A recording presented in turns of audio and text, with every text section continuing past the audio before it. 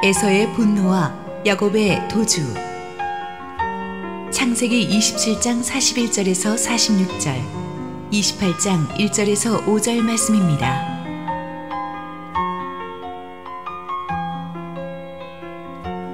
그의 아버지가 야곱에게 축복한 그 축복으로 말미암아 에서가 야곱을 미워하여 심중에 이르기를 아버지를 곡할 때가 가까웠은즉 내가 내 아우 야곱을 죽이리라 하였더니. 마다들 에서의 이 말이 리브가에게 들림에 이에 사람을 보내어 작은 아들 야곱을 불러 그에게 이르되 내 형 에서가 너를 죽여 그 한을 풀려 하니. 내 아들아 내 말을 따라 일어나 하란으로 가서 내 오라버니 라반에게로 피신하여 내 형의 노가 풀리기까지 몇 날 동안 그와 함께 거주하라. 내 형의 분노가 풀려 내가 자기에게 행한 것을 잊어버리거든. 내가 곧 사람을 보내어 너를 거기서 불러오리라. 어찌 하루에 너희 둘을 이르랴. 리브가가 이삭에게 이르되 내가 햇사람의 딸들로 말미암아 내 삶이 싫어졌거늘 야곱이 만일 이 땅의 딸들 곧 그들과 같은 햇사람의 딸들 중에서 아내를 맞이하면 내 삶이 내게 무슨 재미가 있으리이까 이삭이 야곱을 불러 그에게 축복하고 또 당부하여 이르되 너는 가난 사람의 딸들 중에서 아내를 맞이하지 말고 일어나 바단 아람으로 가서 내 외조부 부두엘의 집에 이르러 거기서 내 외삼촌 라반의 딸 중에서 아내를 맞이하라. 전능하신 하나님이 내게 복을 주시어 내가 생육하고 번성하게 하여 내가 여러 족속을 이루게 하시고 아브라함에게 허락하신 복을 내게 주시되 너와 너와 함께 네 자손에게도 주사 하나님이 아브라함에게 주신 땅 곧 내가 거류하는 땅을 내가 차지하게 하시기를 원하노라. 이에 이삭이 야곱을 보내매 그가 바단 아람으로 가서 라반에게 이르렀으니 라반은 아람 사람 부두엘의 아들이요 야곱과 에서의 어머니 리브가의 오라비더라 할렐루야 우리 하나님께 감사와 영광의 박수 올려드리겠습니다. 우리 함께 기도하시고 하나님 말씀 보겠습니다. 사랑하는 아버지 은혜를 감사합니다. 세상에서 지치고 상한 심령 주님 앞에 위로받고 새 힘을 얻기 위해 나온 우리 성도들 붙들어 주시옵소서. 부족한 종은 감추시고 오직 주님 홀로 영광 받으시옵소서. 예수님 이름으로 기도했습니다. 아멘. 지난주 본문에서 우리는 눈먼 아버지 이삭을 어머니 리브가와 둘째 야곱이 같이 공모해서 속이고 장자의 축복을 뺏는 것을 살펴보았습니다. 문제는 그렇게 축복을 어, 받은 야곱이 나간 뒤에 사냥에서 돌아온 마지 에서로부터 시작됩니다. 아버지에게서 장자의 축복을 받을 생각에 들떠서 사냥한 고기를 요리해서 돌아온 이 에서는 아버지에게 들어가서 말합니다. 아버지, 제가 사냥해서 만들어 온 이 별미를 잡수시고 이제 저를 마음껏 축복해 주십시오. 그 말을 듣는 순간 이삭이 얼굴이 하얗게 질려 버립니다. 성경은 이 모든 사건의 전모를 알게 된 이삭이 심히 떨었다고 말합니다. 이삭이 충격을 받은 것은 하나님 때문입니다. 원래 하나님께서는 야곱이 둘째였지만 어릴 때부터 큰 자가 작은 자를 섬길 것이라는 계시를 주셨었습니다. 그런데 이삭이 자기의 개인의 판단으로 하나님의 뜻을 거역하고 몰래 에서에게 축복을 주려고 했습니다. 근데 결과적으로 하나님의 말씀대로 야곱에게 축복을 주게 되었습니다. 물론 야곱이 리브가와 함께 눈먼 아버지 이삭을 속인 것은 잘못된 일이죠. 그렇지만 이것 또한 처음부터 하나님의 뜻을 어기려고 했던 이삭을 바로잡아 주시려는 하나님의 섭리였습니다. 이삭은 여기서 하나님이 살아계시다는 사실을 깨닫고 큰 충격을 받았습니다. 내가 살아계신 하나님의 뜻을 인간적인 편법으로 바꾸어 보려고 하다가 이런 결과를 맞았구나. 정말 하나님이 무섭구나. 내가 감히 하나님을 속일 수 없구나라는 것을 비로소 느끼게 되었습니다. 그래서 이삭이 애당초 하나님을 속이려고 했던 자기 죄 때문에 자기를 속인 리브가와 야곱에게 화내지는 않습니다. 이처럼 우리의 뜻이 이루어지지 않을 때에도 우리는 하나님을 만나게 됩니다. 신실하고 변함없으신 하나님을 만나면서 우리의 모습을 회개하게 되죠. 가슴을 치면서 후회하기로 한다면 이삭보다 에서가 훨씬 더했을 것입니다. 에서는 너무 기가 찬 나머지 자기에게 나머지 축복이라도 좀 남아 있으면은 달라고 아버지에게 조릅니다. 그러나 창세기 27장 37절에서 이삭은 말합니다.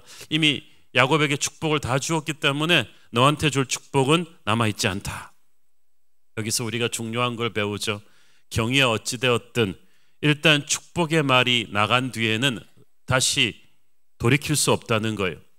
우리는 여기서 하나님의 사람이 한번 입으로 뱉은 말에는 엄청난 책임이 뒤따른다는 걸 알 수 있죠. 우리 생각에는 뭐 말만 하는 건데 두 번씩 축복해 주면 어떠냐 우리가 그렇게 생각할 수 있지만 하나님이 주시는 언어의 무서움을 아는 사람은 그렇게 쉽게 생각하지 않아요.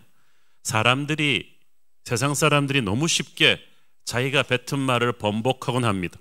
그러나 성경은 하나님의 사람은 한번 입으로 나간 말에 대해서는 자기의 인생을 걸고 책임져야 한다는 것을 강조합니다.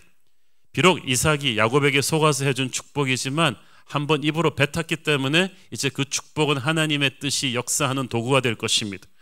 하나님께서 말씀으로 세상을 창조하시고 세상을 운영하시고 그 말씀의 권세를 하나님의 자녀들에게도 주셨습니다.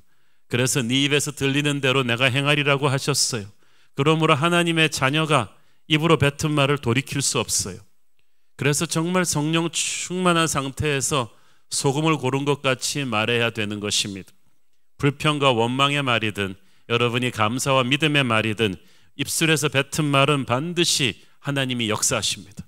그 말이 변화의 현실이 되게 하시고 하나님의 역사가 이루어지는 도구가 될 것입니다. 축복을 빼앗긴 에서는 뭐 대성통곡을 합니다. 창세기 27장 36절 에서가 이르되 그의 이름을 야곱이라 함이 합당하지 아니하나이까 그가 나를 속임이 이것도 두 번째니이다. 전에는 나의 장자의 명분을 빼앗고 이제는 내 복을 빼앗았나이다. 또 이르되 아버지께서 나를 위하여 빌 복을 남기지 아니하셨나이까. 그 이름이 야곱이라 부름이 합당하다. 야곱은 약탈자, 속임수로 빼앗는 자란 뜻이죠. 그 아이 인생이 진짜 그렇지 않냐 그러면서 벌써 두 번이나 내 축복을 빼앗았다고 떼굴떼굴 구릅니다. 여기서 우리는 에서가 비로소 그 옛날 단팥죽 한 그릇에 장자의 명분을 빼앗긴 그 사건이 얼마나 큰 사건이었는가를 이제서 에서가 뒤늦게 깨닫고 있다는 것을 알게 됩니다. 그런데 타이밍이 너무 늦었어요. 왜 그랬을까요? 평소부터 에서는 자기 힘을 믿고 하나님의 은혜를 영적인 축복을 좀 우습게 여기는 버릇이 있었던 것 같아요. 그때 에서를 속여서 단팥죽 한 그릇에 장자의 명분을 뺏은 야곱이 나빴지만 성경은 그보다 더 나쁜 것이 장자의 명분의 영적 중요성을 간과했던 에서라고 말합니다. 진짜 에서가 목숨처럼 이 장자의 명분을 소중히 여겼더라면 오히려 단팥죽 한 그릇으로 자신을 유혹하는 동생을 꾸짖었을 것입니다. 그런데 에서는 쉽게 그걸 놓아버렸어요. 평소 중요하게 생각하지 않았기 때문이에요. 하나의 사건은 다른 사건과 반드시 연결이 되죠. 어릴 때 팥죽 한 그릇에 장자의 명분을 팔아버린 그 사건이 오늘날 아버지의 축복을 야곱에게 송두리째 빼앗기는 대형 사고까지 이어졌다는 것을 에서가 비로소 깨달은 거예요. 뒤늦게 후회하는 에서를 보면서 저는 마태복음 25장에 나오는 어리석은 다섯 처녀의 비유가 생각이 납니다. 슬기로운 다섯 처녀들은 신랑을 맞을 준비를 하고 미리 기름과 등을 준비해서 딱 스탠바이 하고 있었습니다. 그래서 한밤중에 신랑이 들이닥쳐도 문제없이 나가서 신랑을 영접했지만 어리석은 다섯 처녀는 뭐 신랑이 오늘 밤에 오겠어 하고 안일하게 아무 준비도 안 해놓고 있었어요. 한밤중에 신랑이 도착했을 때 어리석은 다섯 처녀는 그 제사에 통곡하며 달려가서 문을 열어달라고 했지만은 이미 때는 늦었습니다. 에서가 바로 그런 케이스입니다. 영적으로 둔감한 사람은 하나님이 지나가는 중요한 영적인 순간을 항상 놓쳐요. 농사에도 씨 뿌리고 거둘 때가 있듯이 우리 인생에도 영적인 타이밍을 놓치지 않는 것이 중요합니다. 무엇을 하느냐 이상으로 중요한 것은 언제 하느냐인데 이 언제 하는가를 누가 어떻게 결정하는가 내가 평소 무엇을 가장 중시하느냐 우선순위의 문제예요. 내가 가장 중요하게 생각하는 거는요. 졸다가도 딱 붙잡아요. 아무리 바빠도 탁 튀어옵니다. 여러분이 항상 먼저 그 나라와 그 의를 구하겠다는 하나님의 축복을 하나님의 은혜를 가장 중요하게 생각하고 산다면 결코 영적인 찬스를 놓치지 않을 것입니다. 하나님이 움직이실 때 지체 없이 같이 움직이고 하나님이 지나가실 때 뛰어나가서 붙잡을 것입니다. 그러면 때에 맞춰 주시는 이른 비와 늦은 비의 축복을 여러분이 받을 거예요. 30배, 60배, 100배의 결실을 누릴 것입니다. 그런데 에서가 번번이 이 영적인 축복의 타이밍을 놓쳐요. 왜냐하면 평소에 하나님의 나라를 가장 중요하게 생각하는 우선순위가 딱 머릿속에 안 들어 있어요. 뭐 지금 안 되면 다음번에 해도 되지. 왜? 에서는 세상적인 힘이 너무 좋아요. 스펙도 좋고 능력도 좋고 인맥도 좋으니까 하나님의 축복이 그렇게 절실하지 않았어요. 그러나 아버지 이삭이나 어머니 리브가 동생 야곱은 어땠습니까? 셋 다 세상적인 능력은 에서에 비해 한참 떨어지지만 그래도 이 장자의 명분이 너무나 중요한 하나님의 은혜라는 건 셋 다 알고 있어요. 그래서 그것을 잡기 위해서 세 사람 다 모든 것을 걸어버린 거예요. 그 중요한 장자의 명분의 영적 의미를 에서만 몰랐어요. 그에게는 세상적인 성공을 알아볼 수 있는 육의 눈은 열려 있었지만 하나님의 영광을 보는 영의 눈이 닫혀 있었습니다. 워낙 태어날 때부터 장자고 능력이 출중하니까 아쉬운 게 없어요. 아쉽지가 않으니까 간절함이 없어요. 가만히 있어도 인생이 자기 마음대로 되는 줄 알았어요. 오늘날에도 보면 이 에서 같은 가치관으로 사는 사람들이 교회 안에 많습니다. 특히 좋은 대학, 대기업 취직, 좋은 집이나 자동차, 명예와 인기 이런 것들을 굉장히 중요하게 생각하고 이런 것들을 사냥하기 위해서 자기의 인생을 다 갖다 바칩니다. 그날 단팥죽 한 그릇에 속던 그날에서는 사냥하다 돌아와서 지쳐 있었다고 했어요. 사냥하다 지쳐서 영적인 분별력이 없는 거예요. 그러니까 장자의 명분을 우습게 생각하고 단팥죽 한 그릇에 넘어가는 거예요. 여러분, 우리도 그렇습니다. 우리가 세상의 것을 절대화시키면서 이 세상의 성공을 목숨처럼 쫓다 보면 영적으로 지쳐버려요. 그러면 단팥죽 한 그릇에도 하나님의 축복을 팔아넘길 수 있는 에서의 우둔함을 범하게 되는 것입니다. 우리는 그래요. 영적인 분별력을 그렇게 잃어버린 사람들은 사냥하다 지쳐 돌아온 사람들은 정말 중요한 것이 무엇인지 몰라요. 진짜 중요한 사람은 안 만나고 별로 중요하지 않은 사람과 만나고 다녀요. 진짜 중요한 곳에는 가지 않고 덜 중요한 곳에는 부지런히 다닙니다. 이런 애서 같은 사람들은 교회는 나오지만 하나님을 제한해요. 세상적 성공의 기회가 보인다 싶으면 득달같이 달려가지만 은혜 받는 자리는 뭐 오늘 안 되면 내일도 있겠지. 차의 피를 미루면서 나오지 않아요. 하찮은 세상의 일에는 그렇게 목숨 걸면서 정말 중요한 영혼을 위해서는 투자하지 않아요. 등한시합니다. 얼마나 안타까운지 모릅니다. 예수님께서는 천국은 침노하는 자가 빼앗는다고 하셨습니다. 왜 빼앗깁니까? 은혜를 가볍게 생각하는 애서 같은 사람들이 빼앗기는 것입니다. 목숨을 걸고 은혜 받겠다고 달려드는 야곱 같은 예배자, 하나님의 은혜가 아니면 나는 소망이 없다는 연약한 사람들, 그래서 영적인 목마름을 가지고 먼저 그 나라와 그 의를 구하겠다는 목숨 걸고 달려드는 야곱 같은 예배자들에게 하늘의 축복을 빼앗기는 것입니다. 신약 시대의 유대인들이 이방인들에게 예수님의 복음의 은혜를 빼앗긴 것처럼 여러분 세상 그 무엇보다도 하나님의 나라를 소중하게 생각하십시오.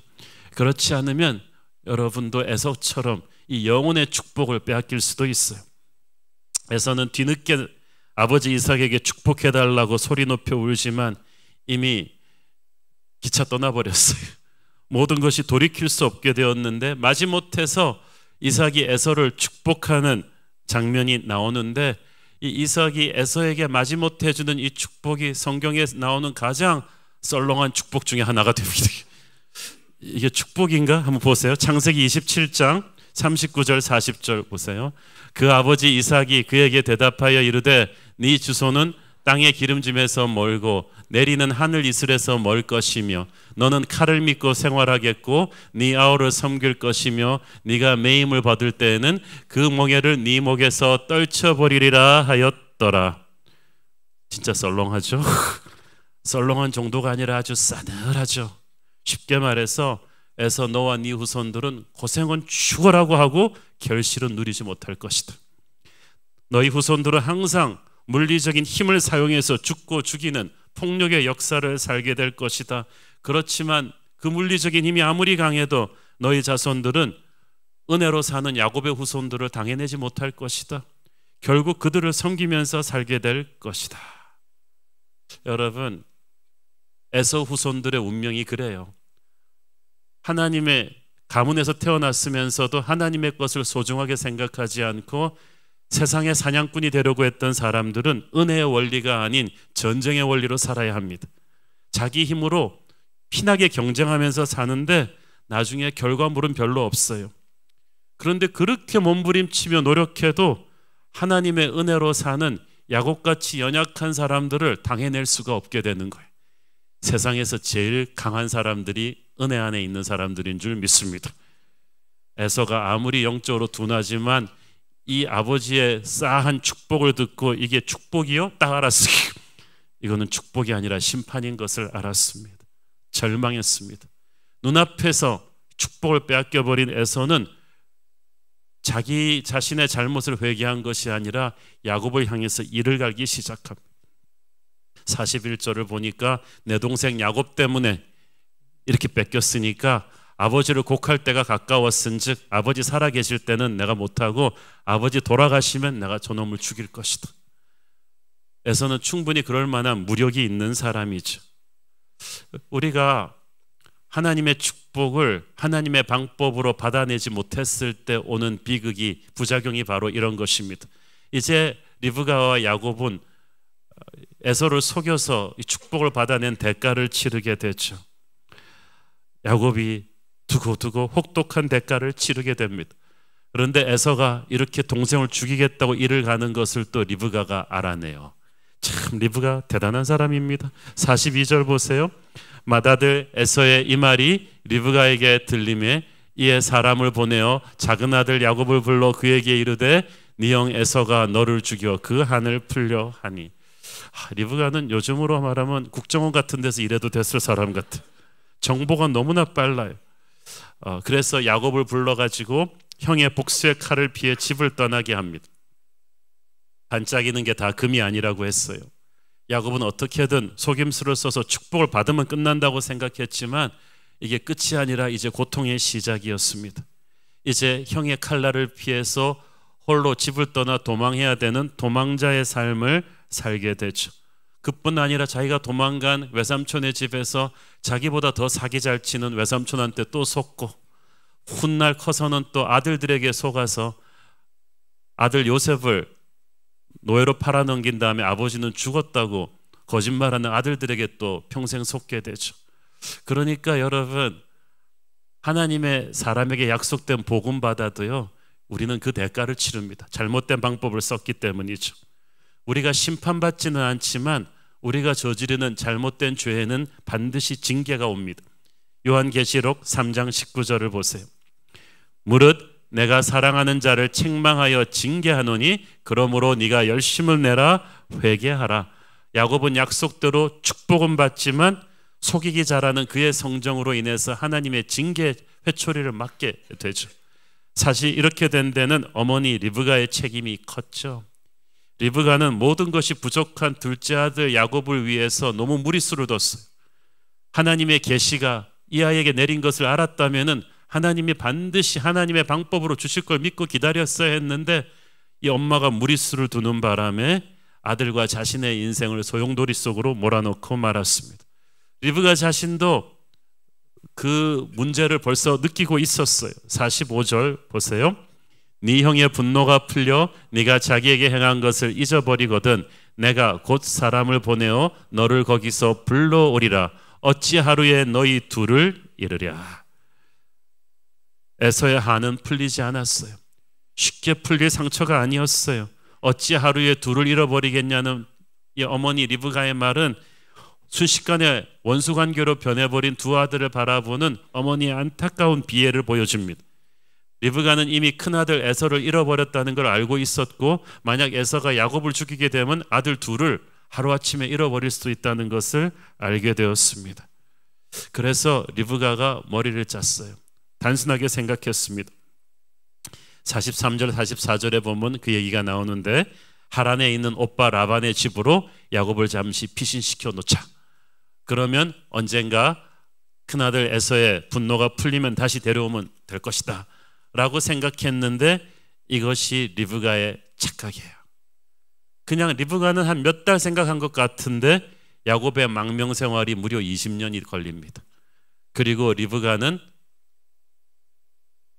곧 세상을 떠나게 돼요.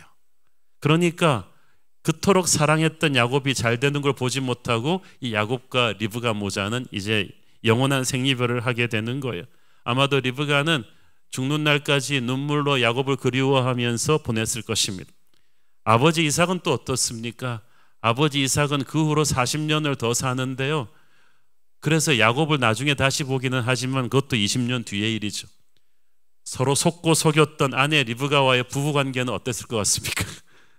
정말 싸했을 것입니다. 집에 있는 아들 에서와는 또 어땠을 것 같습니까?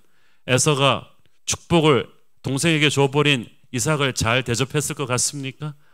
이삭은 평생 또 사나운 에서의 눈치를 보면서 살아야만 했을 거예요.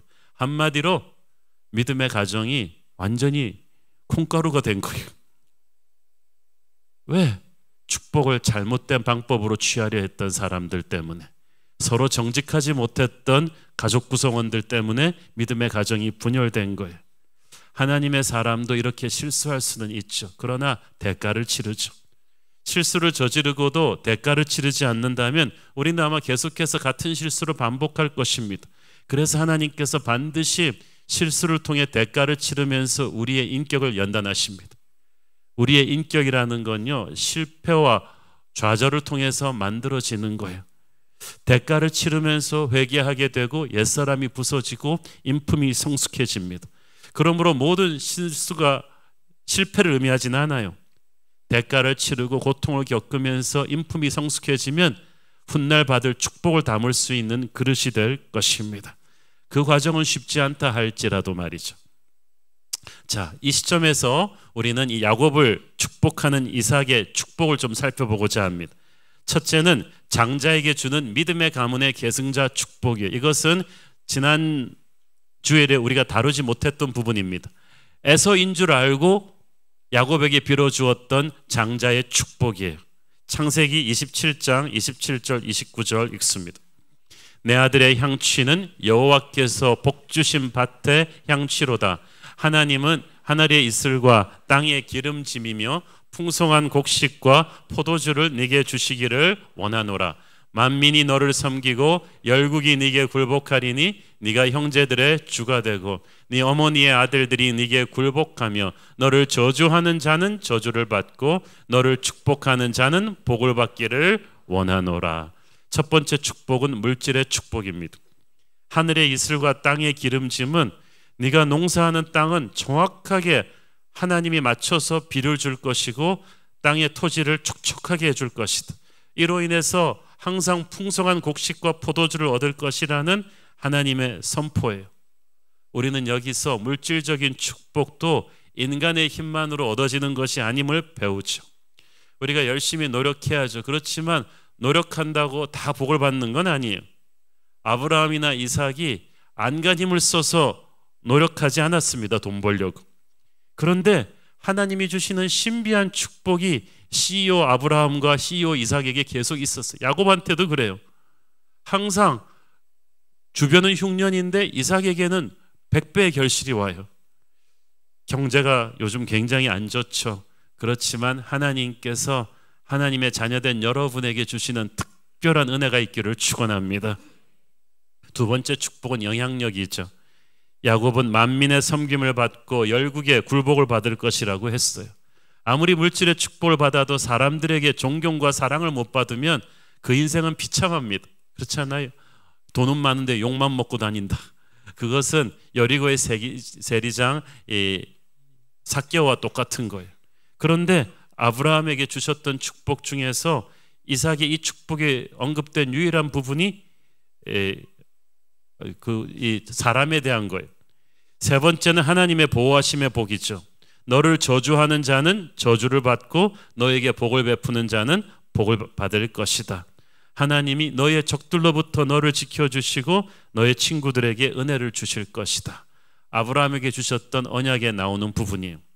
그런데 조금 이따 다루겠지만 이삭이 야곱에게 속아서 야곱이 에서인 줄 알고 주었던 이 축복은 아브라함에게 하나님이 주셨던 오리지널 축복의 한 3분의 1도 안 돼요. 굉장히 불완전한 축복. 이건 마치 하나님이 어떻게 축복을 좀 제한을 걸고 브레이크를 걸고 이삭을 통해서 야곱에게 주신 것과 같습니다. 이것을 그 이유를 우리가 조금 이따 살펴보겠습니다. 자, 이제 두 번째 축복은 야곱을 이제 먼 타향으로 떠나보내면서 하는 축복이에요. 28장 3절 4절 보겠습니다. 전능하신 하나님이 내게 복을 주시어 내가 성육하고 번성하게 하여 네가 여러 족속을 이루게 하시고 아브라함에게 허락하신 복을 네게 주시되 너와 너와 함께 네 자손에게도 주사 하나님이 아브라함에게 주신 땅 곧 네가 거류하는 땅을 네가 차지하게 하시기를 원하노라. 자, 여기서 중요한 것은 첫째 전능하신 하나님이 네게 복을 주신다는 대목이에요. 복은 이삭이 선포하지만 하나님이 주십니다. 복의 근원은 하나님이세요. 모든 복은 made in heaven이에요. 천국산이에요. 사람의 손에 배달될 수는 있어도 그 복의 근원은 하나님이세요. 우리가 하나님의 자녀가 되어 기도할 때 그 복의 근원이 강림하시는 것입니다. 하나님을 떠나서는 그 어떤 복도 없습니다. 우리에게 복 주시는 하나님이 전능하십니다. 아무리 사랑이 많아도 힘이 없으면 복을 줄 수가 없는데 하나님은 전능하세요. 그러므로 전능하신 하나님이 복 주시는 인생은 참으로 지켜볼 만한 인생이 될 것입니다. 하나님을 기대하십시오. 자, 그런데 한 가지 주목할 것은 하나님으로부터 오는 복이 아브라함이라는 배달꾼을 통해서 온다는 거예요. 아브라함에게서 흘러나가요. 아브라함에게 허락하신 복을 네게 주시되 이 대목이 정말 중요해요. 이삭이 야곱을 떠나보내면서 하는 축복이 전에 야곱이 에서인 줄 알고 이삭이 착각해서 주던 축복과 확연히 달라진 게 있다면 이거예요. 아브라함에게 허락하신 축복을 공식적으로 이삭이 언급해 준 것입니다. 아브라함에게 믿음의 조상 아브라함에게 주신 축복이 크게 두 가지인데 첫째는 후손의 축복이죠. 네가 생육하고 번성하게 하여 네게 여러 족속을 이루게 하실 것이다. 너의 자손이 하늘의 별같이 바다의 모래알처럼 번성케 될 것이고 너는 열방의 아버지가 될 것이다. 여러분 하나님으로부터 축복받는 사람은 수많은 사람들을 이끌게 돼요. 사람의 영향력을 가지게 될 것입니다. 또 다른 아브라함의 축복은 땅의 축복입니다. 하나님이 아브라함에게 주신 땅, 곧 네가 거류하는 땅을 차지하게 하시기를 원한다. 네가 약속의 땅의 주인이 될 것이다. 우리나라 땅값 비싸죠. 그래서 그런지 노른자 땅을 사서 이 부동산 투기하려는 사람들이 참 많습니다. 그런데 사실 세계의 역사가 땅 따먹기 역사입니다. 다들 군대를 동원하고 정략과 술수를 동원하고 돈을 이용해서 농사 잘 되는 땅, 천연 자원이 묻혀 있는 땅, 그리고 교통의 요충지 땅을 한 뼘이라도 더 차지하기 위해서 항상 치고받고 싸워요. 하나님의 백성들에게 있어서도 땅이 정말 중요해요. 그 당시 농경 목축 문화잖아요. 땅은 그들이 먹고 살 수 있는 기반이었고 기업이었고 꿈을 펼칠 수 있는 장소였고 적으로부터 그들을 지켜주는 울타리였어요. 근데 이 땅을 차지한다는 것이 단순히 그 땅을 빼앗는다는 뜻이 아니라 그 땅의 풍성함을 누리는 온전한 땅의 주인이 된다는 뜻입니다. 그래서 이 땅의 축복이 너무나 중요한데 아브라함에게 사람의 축복과 함께 이 땅의 축복이 왔어요. 여러분에게 사람의 축복과 이 땅의 축복이 오기를 바랍니다. 자, 그런데 이 이삭이 야곱에게 빌어준 이 아브라함의 축복이 지난 장에서 에서인 줄 알고 야곱에게 속아서 빌어준 축복과는 비교도 안 될 정도로 풍성합니다. 완전히 업그레이드 되었어요. 왜 그랬을까? 아까 제가 말씀드렸죠. 첫 번째 축복은 마치 하나님이 브레이크 건 것처럼 굉장히 진짜 오리지널 아브라함의 축복의 3분의 1도 안 되는 그런 어정쩡한 축복이 나간 까닭. 그것은 그때 이삭의 가정이 거짓과 불신으로 가득 차 있었기 때문이에요. 이삭은 아내 리브가와 작은 아들 야곱을 속이고 몰래 에서에게 축복을 주려고 했고 하나님의 계시를 어긴 거죠. 이에 맞서서 아내 리브가와 야곱도 또 아버지를 속여서 그 축복을 강탈하려고 했고 그래서 그런지 가족 구성원이 불신과 거짓으로 가득 차 있어요. 그러니까 하나님의 뜻이 이루어지긴 했지만 성령께서 기쁘게 역사하시지 못하는 거예요. 이삭이 이렇게 부정직한 건강하지 못한 영적인 상태에서 축복할 때 아브라함의 축복을 성령께서 100% 전달하시지 않았습니다. 진리의 영이신 성령께서 기뻐하시지 않아요. 그러나 이제 모든 것이 다 드러난 지금은 다릅니다. 이삭은 이제 더 이상 에서인 줄 착각하고 야곱을 축복하지 않아요. 야곱을 떠나보내면서 이제 이삭은 야곱의 얼굴을 정확하게 보면서 야곱의 이름을 부르면서 축복합니다. 자기를 속인 야곱이었지만 이삭은 이 문제의 근원이 애당초 하나님의 뜻을 반하려 한 자기 죄임을 알고 회개했어요.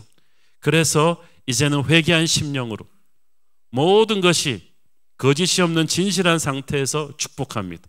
그러니까 눈 멀고 병든 이삭이었지만 성령께서 그를 통해 100% 기쁘게 역사하셨어요. 그래서 믿음의 조상 아브라함에게 약속된 모든 축복이 두 번째 축복에는 그대로 담겨서 흘러간 거예요. 이걸 보면 리브가와 야곱이 참 성급했다는 생각을 우리가 떨쳐버릴 수 없죠. 가만히 있었어도 하나님께서 야곱에게 약속된 축복이 에서에게 가지는 않으셨을 거예요. 아브라함의 아, 이삭의 입술을 딱 막아가지고 속이지 않았더라도 에서에게 그 축복이 가게 하진 않았을 텐데 그들은 하나님을 믿지 못해서 아버지를 속이는 무리수를 뒀습니다. 그래서 축복은 받지만 두고두고 인생이 아주 처절한 고통을 겪게 되죠. 결론 하나님의 축복은 하나님의 방법으로 받을 것을 믿으십시오. 여러분이 무리수를 두면 반드시 사고가 생기죠. 오늘의 본문을 다루면서 우리가 마지막으로 다루고 싶은 중요한 포인트가 있습니다.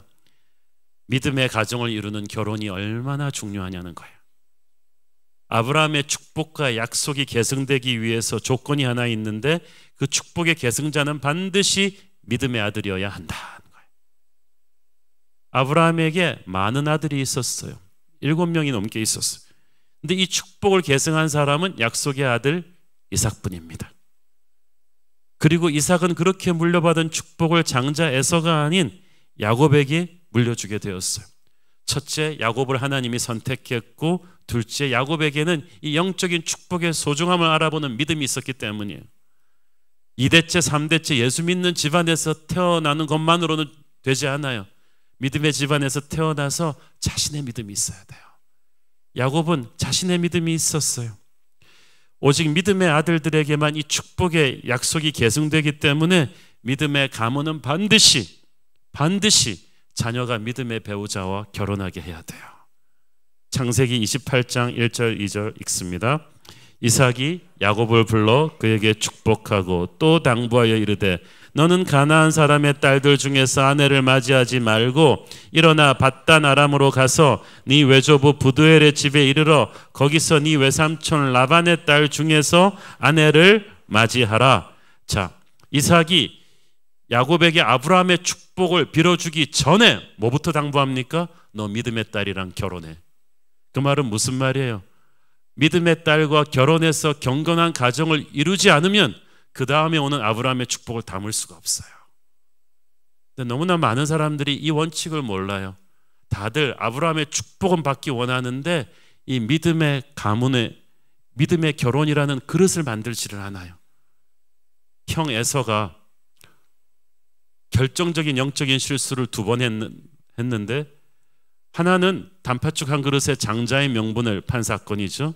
그런데 성경은 그 이상으로 중요한 미스테이크를 하나님 안 믿는 해촉석의 딸들과 결혼한 것이라고 합니다.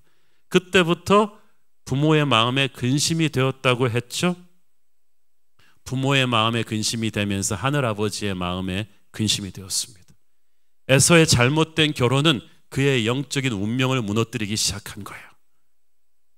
나중에서야 에서는 자신의 잘못을 깨닫고 이스마엘의 딸과 결혼해서 아버지를 기쁘게 하려고 하지만 항상 에서는 뒷북을 치다가 때를 다 놓쳐버리고 말죠. 오래전 할아버지 아브라함도 이 믿음의 결혼이 얼마나 중요한 걸 알고 아들 이삭의 배필을 주변의 수많은 가나안 부족들의 딸과 하지 않고 멀리 고향으로 종을 보내서 며느리감을 찾아오지 않습니까? 사실 정략적인 결혼으로 하자면 주변에 가나안 부족들 잘 나가는 CEO들 딸과 결혼시키는 게 아브라함에게도 좋았을 거예요. 그러나 그런 세상적인 생각으로 아브라함은 결혼시키지 않았어요. 이삭도 마찬가지입니다. 오늘 본문에서 야곱 떠나보내면서 가나안의 딸과 결혼하지 마라. 반드시 믿음의 딸과 결혼하라. 그리고 이 아브라함의 축복을 받으라고 말합니다. 청년 여러분, 결혼을 쉽게 생각하지 마십시오. 반드시 믿음의 배우자와 결혼하셔야 돼요. 결혼 정년기에 자녀 된 부모님들 반드시 자녀를 믿음의 배우자와 결혼시키세요. 제 말을 허투루 듣지 마세요. 저는 이 원칙을 어겨서 무너져 버린 믿음의 가정들, 불행해져 버린 사람들을 너무나 많이 알고 있습니다. 세상적인 결혼을 해서 실패했던 분들, 그렇게 안타깝게 돌싱이 된 분들 지금도 늦지 않았습니다. 여러분이 다시 한번 회개하고 하나님 앞에서 시작해서 믿음의 배우자와 다시 만나서 새로운 가정을 이룰 꿈을 꾸기를 바랍니다. 하나님을 잘 믿는 청년들이 교회 안에 많이 없어서 어렵다고 말씀들 합니다. 그렇죠. 아브라함도 이삭도 어려웠죠. 오직 없으면은 멀리 800km 넘어 떨어진 곳에 사람 보내서 데려왔겠어요? 여러분이 아브라함 이삭처럼 어렵지는 않았어요. 어떤 경우에도 이 원칙을 타협하지 않겠다고 결심하시고 지금부터 자녀의 배우자를 위해서 기도하기 시작하십시오. 하나님이 반드시 인도하실 것입니다. 요즘 많은 청년들이 결혼하기 싫어하고 아이 낳기 싫어합니다. 아이 키우는 것이 자기 커리어 만드는데 방해가 되고 시간과 재정이 엄청나게 들어가기 때문이라고 합니다. 나홀로 자유롭게 살겠다는 트렌드가 강한데 이것은 성경적인 생각이 아닙니다. 왜냐하면 성경의 축복은 항상 가문의 축복이에요. 하나님의 축복이 내 대에서 끝나는 게 아니에요. 나의 다음 세대로 흘러가는 거거든요. 하나님이 딱 여러분을 보실 때 여러분만 보는 게 아니라 아브라함의 하나님, 이삭의 하나님, 야곱의 하나님을 보시는 거예요. 복이 당대로 끝나는 게 아니에요. 아브라함에게서 이삭으로 오고 이삭에게서 야곱으로 갈 때 복이 계승되는 것만 아니라 확산이 돼요. 두 배, 세 배, 열 배로 막 확산이 되는 거예요. 여러분은 여러분이 뿌리지 않은 것을 믿음의 조상 덕에 지금 거두고 있는 것이고 또 여러분은 그래서 부모의 영적인 혜택을 받는 거고 여러분의 자녀를 통해서 또 받는 혜택이 있어요. 장사의 수중의 화살이라고 했잖아요. 그러므로 반드시 하나님의 복은 믿음의 가문을 통해서 이루어져요. 그런데 여러분이 세상 방식으로 결혼하지 않겠다, 아이 낳지 않겠다, 내 커리어 형성에 도움이 안 된다. 이것은 정말 소탐대실하는 거죠. 하나님의 진짜 축복을 차단하는 거예요. 하나님의 백성들이 믿음의 배우자들과 결혼해서 아이를 낳아 가정을 이루는 건 너무 중요합니다. 여러분이 아이가 잘 안 생긴다면 입양해도 괜찮아요. 하나님의 자녀로 키우시면 돼요. 어쨌든 믿음의 가문을 이루셔야 돼요. 나 개인만 잘 된다고 생각하면서 결혼 안 하고 자식도 안 나오려 하면 하나님 나라의 축복의 물줄기를 여러분 대해서 다 끊어버리겠다는 거죠. 여러분 개인의 축복도 믿음의 가정에 속해 있음으로써 누리게 될 것입니다. 이삭도 야곱도 얼마나 개인적인 약점이 많습니까? 그러나 이 믿음의 가정에 속해 있음으로써 하나님의 축복을 누릴 수가 있었어요. 여러분 모두 믿음의 가정을 풍성하게 이루는 축복기를 축원합니다. 또 한 가지 아브라함으로부터 시작돼서 이삭 야곱에게 간 축복이 나중에는 다윗에게로 흘러가고 나중에는 예수 그리스도에게로 흘러갑니다. 그리고 이제 예수 그리스도의 보혈 공로로 거듭난 모든 하나님의 자녀들에게 우리에게 이어지고 있는 거예요. 우리는 흠이 많은 죄인들이지만 예수님의 피로 거듭나면서 하늘나라 가족이 되었어요. 하나님이 주시는 풍성한 복의 수혜자가 되었어요. 교회는 예수 그리스도가 머리 대신 하늘나라 가족입니다. We are family. 우리는 하늘나라 가족의 일원이에요. 우리는 육체의 피가 섞이지는 않았지만 거룩한 예수의 보혈로 하나 된 형제 자매들인 줄을 믿습니다. 여기에 모인 우리가 모두 주의 은총을 받은 자예요. 그러므로 우리는 이 교회에 속해 있어야 합니다. 이 교회를 사랑해야 합니다. 우리가 오늘 이 시점에 이 교회에 같이 있는 것은 우연이 아닙니다. 교회를 사랑하십시오. 교회를 위해서 기도하십시오. 그러면 하나님이 이 교회를 통해서 여러분에게 엄청난 축복과 은혜를 흘려보내 주실 것입니다. 우리의 약점과 어려움도 이 교회 공동체 하늘나라 식구를 통해서 하나님께서 풍성하게 메꿔 주실 줄 믿습니다. 하나님의 은혜가 여러분에게 충만하기를 바랍니다. 기도하겠습니다. 주님 은혜 감사합니다. 하나님, 우리는 에서처럼 하나님 나라를 소중하게 생각하지 않다가 한탄하는 사람 되지 않게 하여 주시고 세상 속에 있지만 영원한 나라를 사랑하는 사람 되게 하여 주옵소서. 모든 복의 근원은 하나님이심을 믿습니다. 그 하나님의 복이 믿음의 가문을 통해서 우리에게 흘러옴을 믿습니다. 주여 우리에게 은혜를 주옵소서. 예수님 이름으로 기도했습니다. 아멘.